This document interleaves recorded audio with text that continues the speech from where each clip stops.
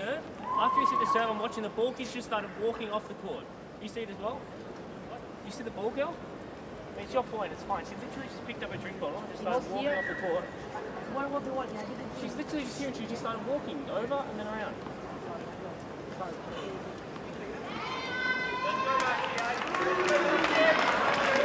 I just was distracted. It appears. Let's have a look. Here, here we go. 15. Yeah.